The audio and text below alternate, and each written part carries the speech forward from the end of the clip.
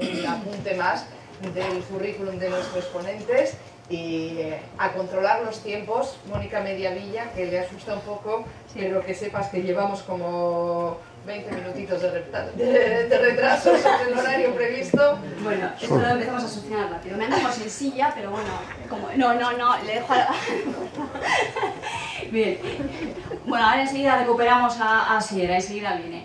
Eh, bueno, a los que habéis venido más veces a, a creo que ya conocéis a Gorka. Gorka es un auténtico clásico. Ya no entendemos Gechoblog sin que Gorka nos cuente algo, ¿sabes? Y estoy esperando y, y deseosa a ver qué nos cuentas este año, Gorka. Y a ver qué rompe.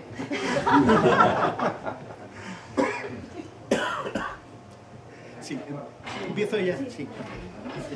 Vamos a cambiar a HDMI. Bueno, eh, la verdad es que están muy bien preparados.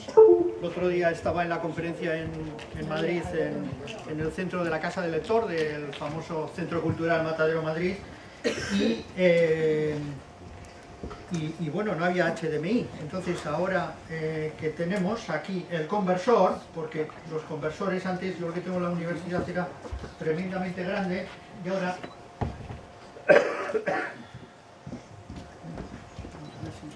Vamos a ver si funciona. Sí que os vamos a pedir que no os alejéis del micro a la hora de hablar porque si no el streaming no recoge el sonido.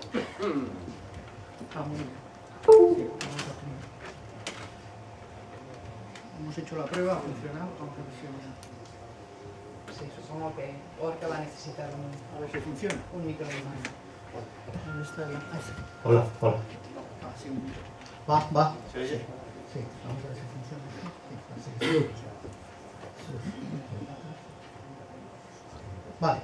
Bueno, entonces, eh, básicamente lo que... Bueno, doy las gracias primero, por supuesto, a todos, Begoña, eh, eh, Julius Andizaga, Miquel Aguirraviría, eh, eh, Mónica, bueno, sin todas estas personas pues sería imposible.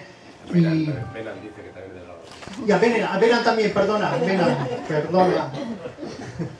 Verán, por supuesto, porque eh, el streaming cada vez es, más importante, ¿no? Bueno, entonces eh, me dijeron para hablar un poquitín de, lo último que se está viendo en el aprendizaje, tendencias, aplicaciones, eh, hacia dónde vamos, bueno, pues sobre eso, ¿no? La conferencia que di el otro día en Madrid era sobre la uberización de la universidad, ¿no? estamos viendo que la economía social está cambiando muchas cosas, cada vez hay menos taxis, cada vez los hoteles están más eh, de capa caída, eh, ciertos hoteles, precisamente por, por, la economía social y lo que supone Air, Bed, and Breakfast y todas estas aplicaciones que han aparecido últimamente y que las estamos utilizando, a nosotros nos gusta utilizarlas por ver hasta dónde va a llegar eso, ¿no? Y en educación lo mismo, intentamos ver hacia dónde vamos y por eso, eh, bueno, vais a ver que es multicultural la presentación, estará en tres idiomas y, distintamente. ¿eh? Ah, entonces, aprendizaje en tiempos líquidos. Eso es lo que estas 37 diapositivas, voy a ir muy rápido para que no me eche la bronca Mónica y Begoña. Bueno, em, eh, primero estamos viendo que tanto en política como en la educación se está produciendo una serie de, de no vamos a decir revoluciones, sino tendencias. ¿no? Una tendencia ahora con la victoria de Trump es claramente la, el decir, bueno, vamos a hacer un stop en la globalización. La globalización nos ha traído cosas muy malas también. Uh, y un Trump, eh, lo que ha venido a decir, o el Brexit en Inglaterra, etcétera, ha sido un poco esto. Yo tengo una persona que ha...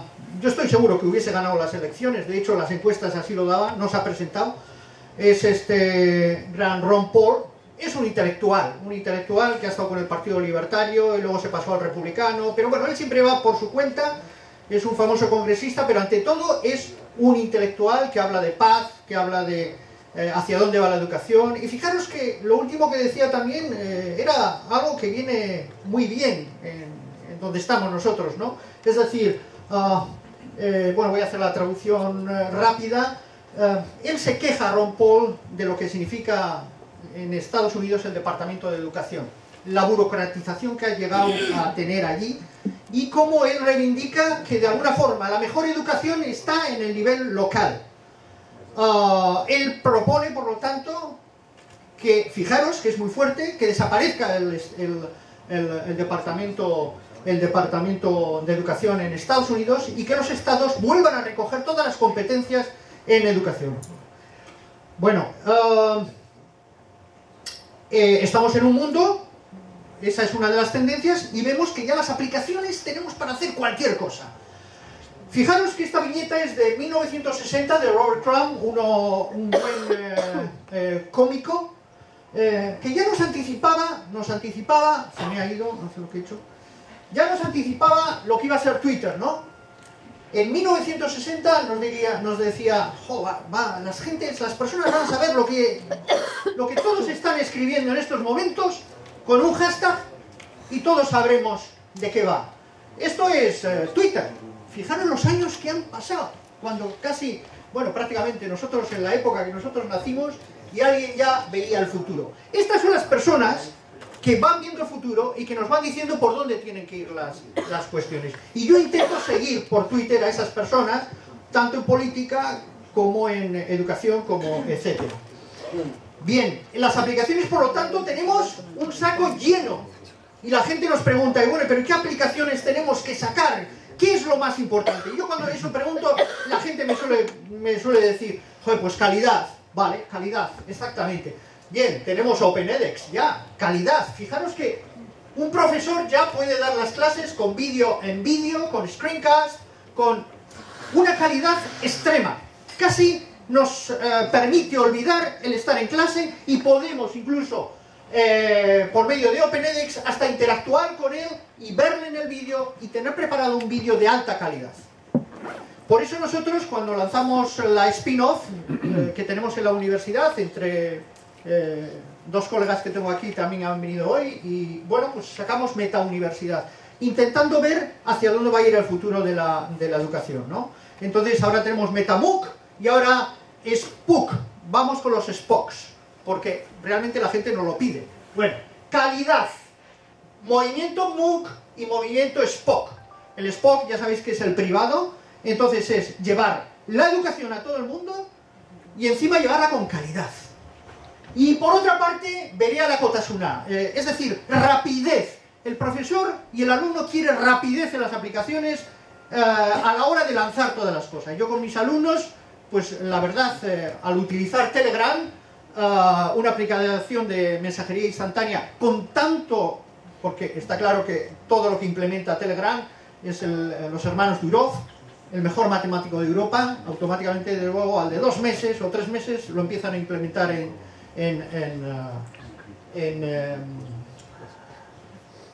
en, la otra gran aplicación que hay de, eh, de, que es WhatsApp, en la otra aplicación de IEM, eh, que tiene un millón de, eh, que tiene mil millones de usuarios, pero, pero cuidado, que en China tenemos a WeChat y a QQ, nosotros porque cada vez tenemos más, yo tengo tres alumnos chinos ya, uh, y, y, lo estamos viendo, quiero decir que si empezamos a, ver las cifras que tienen las aplicaciones de, mensajería instantánea son tremendas, pero Telegram es con diferencia la mejor en cuanto a que crea un entorno para la educación increíble en la que incluso la privacidad, que es uno de los elementos más importantes, nos permite tenerla. Pero bueno, de eso ya hablé el año pasado. Aquí tenéis una aplicación de una de mis alumnas para que veáis todas las fiestas, todas las fiestas eh, aquí ha puesto todas las fiestas de Euskal Herria de todos los pueblos y en una aplicación que la bajáis y en Telegram ya lo tenéis. Bueno, hacemos muchos bots, muchos autómatas con los alumnos y yo creo que eso es lo importante. Eh, voy a ir rápido. Eh, otro de los elementos muy grandes que hay en la educación es el movimiento Open Access.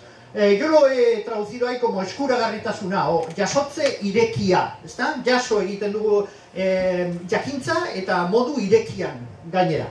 Acceso abierto o Open Access. Eh, todos ahora se empiezan a poner las medallitas cuando hace poco esto era hablar de chinos, ¿no? Eh, es decir, una cosa que... Eh, ¿Cómo vamos a, abrir el conocimiento? Cuando nuestra universidad se estaba gastando miles de euros precisamente en revistas que no las leían más que dos tres personas, pero eran revistas de calidad es igual, el mismo, lo mismo que ha pasado en el conocimiento cerrado con las enciclopedias, está pasando también en el, en el movimiento de la investigación. Open Access es decir, basta ya, ya no queremos esas revistas de 2.000 euros ¿eh? por, un, por, por varios folios, de estos grandes gurús. No, no, no. El conocimiento tiene que ser abierto y de hecho ya casi todas las revistas se están pasando al movimiento Open Access en todo el mundo y lo vemos en las universidades. Bueno, eh, Open Access os he puesto ahí las, tres, las seis grandes cosas que significa. Significa todo el conocimiento tiene que ser visto por todos. Inteligencia colectiva. Online. Tiene que estar online para que se derrame por toda la red y todos lo podamos eh, coger tiene que llevar licencias que permitan reutilizar ese contenido. Muy importante. Movimiento Linux, movimiento software libre, Wikipedia, etc. Las cartas una, rapidez. La gente pide rapidez. De nuevo, vamos a lo mismo. Libre. Y que toda esa investigación esté en manos de todos, tanto empresas como... Eh, al final ese movimiento, esta es la foto de, de hace un año o dos años de las jornadas que hicimos con Red Hat y el gobierno vasco en cuanto a que todo era open, ¿no? Open hardware, open data, open innovation, open source. Eh, fijaros que el otro día, una pequeña anécdota, tuvimos dos eventos en la universidad. Uno era el evento, eh, un gran curso que ponía, nos llegó a todos los, los 3.000 profesores de la Universidad del País Vasco, o 4.000, no sé cuántos somos ya, eh, nos llegó, bueno, curso de un editatón de Wikipedia con las mujeres. Bueno, a ver qué profesores iban a ese editatón para meter información sobre uh, o sea, sobre escritoras vascas, ¿no? Y profesoras. Y, profesoras, sí, eso profesores y profesoras. y a la vez también había otro, otro de cómo conseguir eh, más dinero con eh, la investigación en las revistas top. Y fue casualidad que casi se daban en el mismo sitio. Subí arriba en el ascensor y sin darme cuenta yo iba al, editatón de Wikipedia con eh, Montserrat Boyce, la famosa de Wikipedia, y Wikipedia, y, aquí está Mirenchu. Mirenchu. Menchu. la veis que está de espaldas, pero bueno, ahí está, ¿eh? Y, bueno, me confundí, entré en la, en la sala confundida y vi que estaba lleno de gente. Gente que, claro, era justo cuando teníamos que presentar los papeles, esto y tal, investigación y cómo conseguir más dinero por medio de la investigación. Y me confundí, me dijeron, no, no, no, que esto no es la Wikipedia, yo pensaba que iba a estar lleno. Voy a la, a la sala de al lado y nos reunimos, aquí estamos todos, 10 eh, personas. Fabuloso, metimos información en euskera y en castellano sobre eh, eh, personas de investigación y de eh, vascas, etcétera y tal, y como veis, me, hizo mucha gracia porque ahí estaba Felechu, no sé si le conocéis, es de Guecho además, la famosa familia Grijalvo, la mayor editorial vasca que hay prácticamente, bueno, ya sabéis que está... Y aparecía él muy... la editorial Grijalvo, ya sabéis, la que hacía las enciclopedias y tal, y aparecía yo promociono la Wikipedia, es uno de los socios, etcétera y tal, y dije, ostras, cómo han cambiado las cosas, imposible. No me esperaba ver, los únicos eh, hombres que estábamos era él y yo, como podéis ver, 10 personas, no estuvimos más, y me impresionó precisamente por eso, ¿no?